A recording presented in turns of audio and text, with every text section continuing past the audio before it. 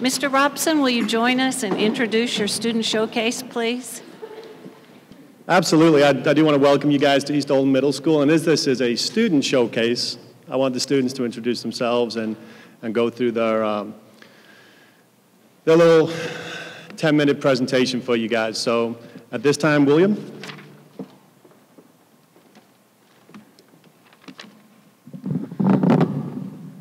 At this time, we'd like the board members to join us in the audience.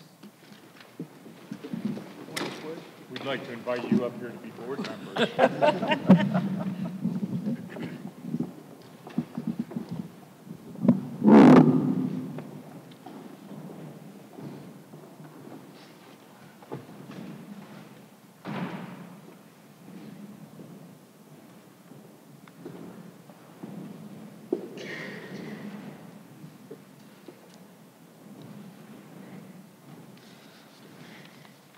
Good evening and welcome to East Oldham Middle School. My name is William Middleton and I would like to tell you about a little about Kentucky Youth Assembly, or KYA. As modified from the YMCA webpage, KYA is a three-day experiential learning program in which students serve as part of a model state government. In the spring, the Kentucky United Nations Assembly, or KUNA, will model the United Nations in addressing world issues. KYA offers students the experience to become the 21st century learner, learners by providing them from the opportunity to learn about a wide variety of issues, developing creative and critical thinking skills through debate, providing leadership opportunities by becoming presiding officers and bill sponsors, and articulating their beliefs while engaging constructively with their peers from around the Commonwealth. At KYA and KUNA, students participate in one of the program areas at the assembly based on their grade and experience. Each area is led by presiding elected officers with a variety of roles available to participants. I am presently running um, as presiding officer. As part of the requirements, I must give a campaign speech before 1,200 delegates, and I must organize and present a service project. As part of my service project, I will be helping with the Veterans Day celebration being held at East Oldham on November 18th. We would like to invite the members of the board to join us that day as well. Now, please sit back and enjoy as East Oldham KYA delegations holds a mock KYA debate. I'd like to introduce Kyle Clark, our candidate for the leadership team, who will serve as our presiding officer.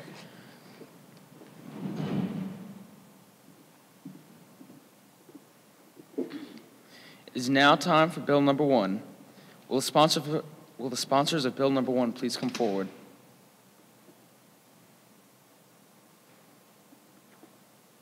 The clerk will now read the title of the bill. An act to require Good Samaritan law to be put into place. The bill sponsors will have three minutes to divide between their opening and closing statements. You may begin when ready. Claire Rose, Emma Rose, and Matthew Johnson, representing East Oldham Middle School, Sir Chair. Imagine this. You see a young woman, or a young child trapped in a locked car, sweltering in 100 degree heat by himself, with no one else around to help. Wouldn't you save him? Of course you would, as many other people would. But what if the person sues you for, doing, for damaging their property in the process? There should be no hesitation to do good in the world. There is an urgent matter that calls for your attention. About 38 kids in hot cars die each year, and most from heat related illnesses. Good Samaritans will occasionally help by breaking into cars and rescuing the children, but more often than not, they are afraid of being sued. Other Good Samaritans will also try to help people in need of protection and rescue, but damage property or break the law in the process. You can help stop this fear by voting for our bill. In our bill, we plan to rid people's fear of doing good in the world. We will do this by making it illegal to sue people for performing actions that are good for the good of the community, even if people are injured or property is damaged in the process. Some of these actions include breaking into hot cars to rescue people, performing CPR without a permit and accidentally harming someone in the process, or anything else that happens to be for the good of the world. People will benefit from this bill because more people will get the help that they need without the fear of prosecution. This will prevent loss of loved ones in the case that someone could have saved them. It would also save the Good Samaritan a lot of money because they won't be forced to pay for the damages of the property.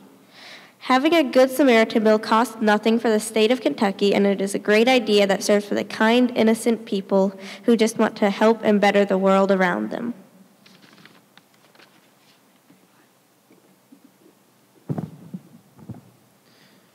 Seeing as the authors use 1 minute and 35 seconds for their opening statement, they will have 1 minute and 25 seconds for their closing.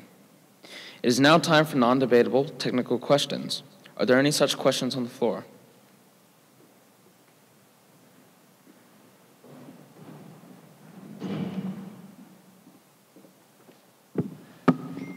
Nick Cox, representing East Oldham Middle School, Sir Chair. If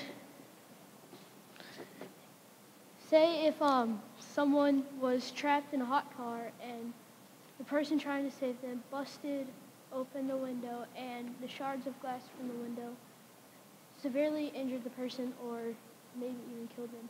Would the person that was trying to save them be responsible for the injuries or possibly the death?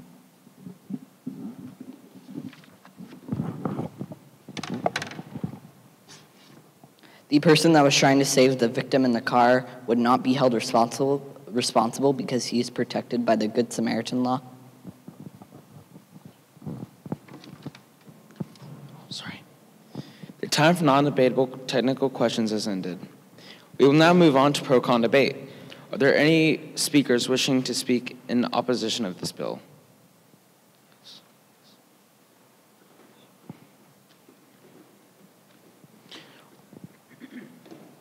Are there any speakers wishing to speak in favor of this bill?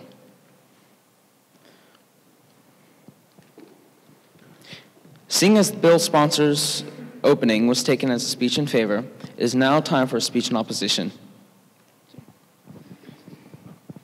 Catherine Carter, representing East Oldham Middle School, third chair. I wish to yield my time to the delegate behind me.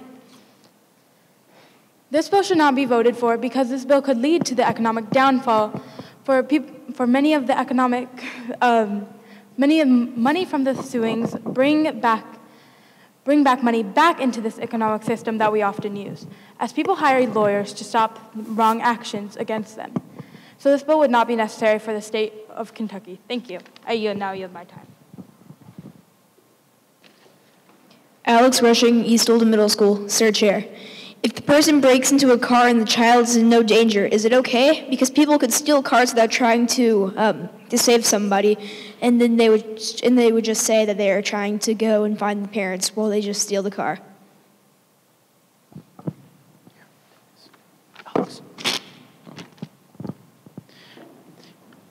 Seeing as that was a speech in opposition, it is now time for a speech in favor. Zoe Deschler, representing East Oldham Middle School, Sir Chair. I'm in favor of this bill because it, is, it has the possibility to save lives. I've per- personally witnessed the effects of exactly what this bill, bill wants to enact. There was a little girl in a car, and the person who saved her got in trouble by the police for helping the girl. No one should get in trouble for just doing good. Seeing as that was a speech in favor, it's now time for speech in opposition. Olivia Shea, representing East Oldham Middle School, Sole Chair. I reserve the right to yield the remainder of my time to the delegate behind me. I respectfully disagree with this bill because people can use it as an excuse to purposefully destroy property, and they can easily provide false evidence. It will cost a lot of money to fix damaged property, and even though this bill is meant to save lives, it might just do the opposite. I now yield my time.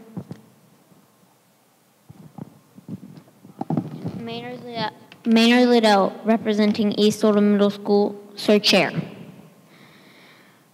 For this law, you, wait, I mean, one major issue in the Good Samaritan bill is that performing CPR without the proper certification is illegal, and you would also have to change national manslaughter guidelines for, for this law to apply.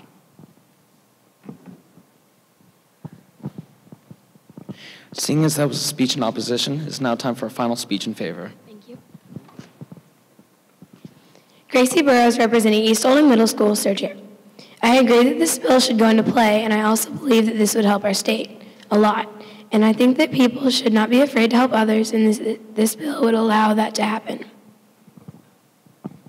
Seeing as that was a final speech in favor, it's now time for a final speech in opposition. Ruby Mason, representing East Oldham Middle School, Sir Chair. Although this bill may be beneficial in many cases, this bill may also be used to protect someone whose original intent was to harm. Without a reputable witness, in addition to the inability to be taken to court, this bill has the possibility to increase the likelihood of wrongdoings that otherwise may have been avoided at the mercy of our standing judicial system.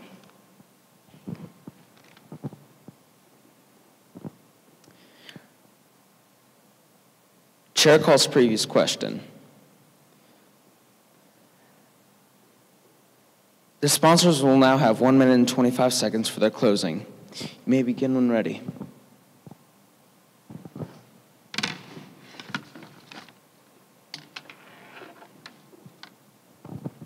First, I would like to address the con statements. One of the delegates that presented a con statement stated that people would take advantage of this law and commit a crime by purposely harming and using the Good Samaritan law as an excuse. A solution to this problem would be that the supposed Good Samaritan would need some sort of proof to be exonerated. Another con statement that was stated by a delegate was if the person does not have proper CPR certification and kills the victim in the process of CPR, would they be charged? They would not be charged with murder be, as the Good Samaritan law would protect them, but they would be charged with per- performing CPR without a license. Many people in other states that have Good Samaritan laws are saved from accidents each year, whether it be a man who suffered from a heart attack or a child trapped in a hot car. In many cases, people will take legal action against you even though you were doing a nice thing. Our bill is common sense and should be passed. Would you sue someone who saved your life?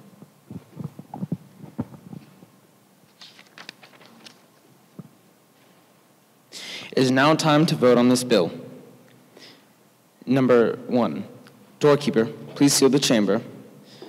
All those in favor, please, please raise your placard and say aye. aye. All opposed, please raise your placard and say nay. nay. It is, it is by the decision of this chair that bill number one has been passed, and it has.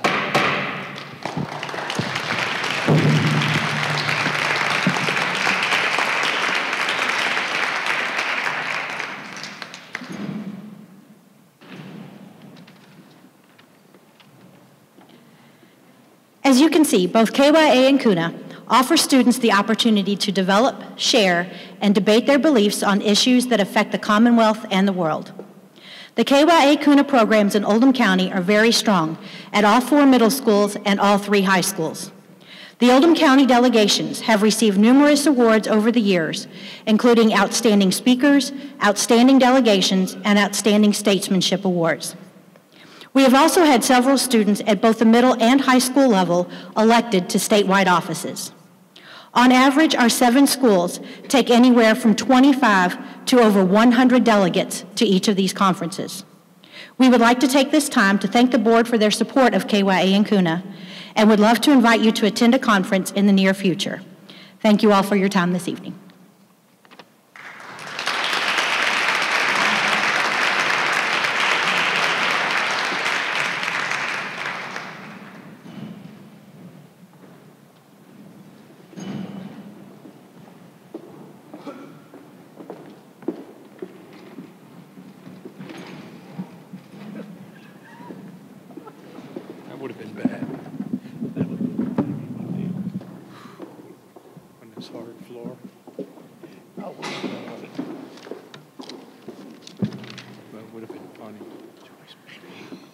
I don't know about my fellow board members, but I thought that was an outstanding student showcase.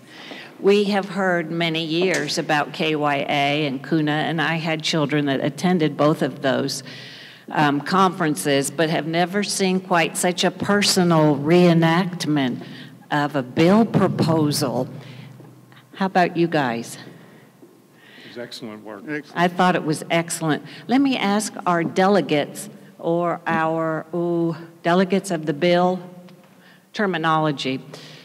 Do we, sponsors of the bill, do we in Kentucky not have a Good Samaritan law? I'm very surprised because I moved to Kentucky from Texas where there was a Good Samaritan law.